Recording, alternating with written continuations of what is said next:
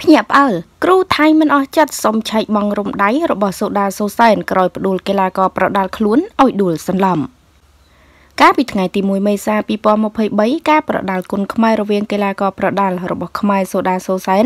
និងកីឡាករប្រដាល់របស់ថៃលោកណប់ក្រាក់ជីបបានធ្វើឲ្យមហាជនដែលជាអ្នកស្នេហាវិស័យកីឡាប្រដាល់មានការភ្ញាក់ផ្អើលយ៉ាងខ្លាំង។ ពេលដែលបានឃើញការបង្ហោះជាវីដេអូឃ្លីបនៅលើបណ្ដាញសង្គមក្រោយកីឡាករខ្មែរសូដាសូសែនបានផ្ដួលកីឡាករថៃឲ្យដួលសន្លប់ក្នុងទឹកទី3ក្នុងវីដេអូដែលបានបង្ហោះនៅលើបណ្ដាញសង្គមនោះគឺជាសកម្មភាពរបស់គ្រូបង្វឹកថៃបានស្នើសុំឆែកបងរំដៃរបស់កីឡាករសូដាសូសែនដោយសង្ស័យថា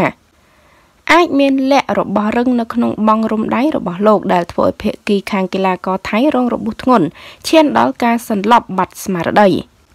ទោះជាយ៉ាងណាខាងភៀកគីខ្មែរក៏បានអនុញ្ញាតឲ្យមានការពិនិត្យតាមការស្នើសុំប៉ុន្តែលទ្ធផលគឺមិនបានរកឃើញអ្វីមួយដុំនៅក្នុងនោះសោះក្រៅពីក្រណាត់រំដៃពោសក្រោយមកភៀកគីទាំងពីរក៏បានសម្របសម្រួលនិងទទួលស្គាល់លទ្ធផលនៃការប្រកួតជាក់ស្ដែង។